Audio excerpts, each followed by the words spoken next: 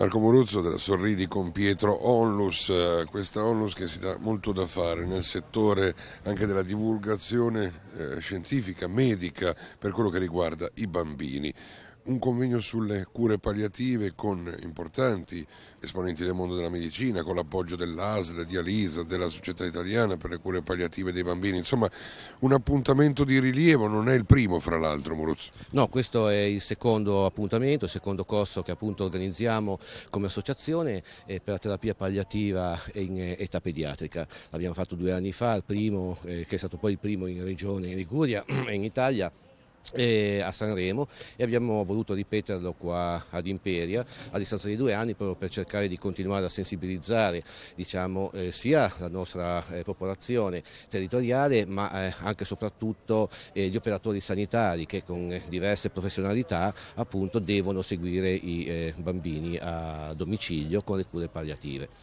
E per noi è, è stato molto importante aver avuto appunto patrocinio degli enti, delle società che eh, avete menzionate, perché questo ci dà anche uno stimolo per continuare ancora di più eh, nel perseguire il nostro obiettivo che è quello di creare una rete di assistenza sanitaria e sociosanitaria qua nel Ponente Ligure, nella nostra provincia di eh, Imperia, in collaborazione con il Gaserini e l'Asili Imperiese per seguire nel miglior modo possibile i bambini a proprio domicilio.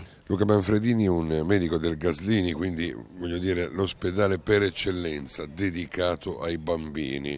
È un ospedale importante, una realtà importante, come è importante anche, ahimè, parlare di cure palliative pediatriche. Qual è lo stato dell'arte nel nostro territorio? Ma, eh, devo dire che la regione Liguria è una delle regioni che più ha creduto in questo progetto siamo stati la prima regione che ha formato i pediatri, eh, pediatri di famiglia e ha formato i pediatri ospedalieri per quanto riguarda il controllo del dolore una regione che ha una rete di cure palliative dell'adulto ma che comincia ad avere una rete di cure palliative pediatriche e con la ASL 1 Imperiese noi stiamo collaborando già dal 2014. Abbiamo fatto un bellissimo corso anche grazie a Sorridi con Pietro, ASL 1 e Gaslini nel 2014, abbiamo iniziato questo progetto Diamo qualità alla vita e oggi ci rivediamo intanto per rifare un po' il punto sui primi quattro anni di lavoro insieme e poi per andare avanti. Abbiamo visto che la formazione è importante e oggi è una una delle tante giornate di formazione che abbiamo organizzato. Anche se dobbiamo purtroppo dire che quando parliamo di cure palliative e di terapia del dolore vuol dire che insomma non ci sono molte altre speranze. Parlarne riferito ai bambini è qualcosa di struggente, una realtà difficile con la quale confrontarsi.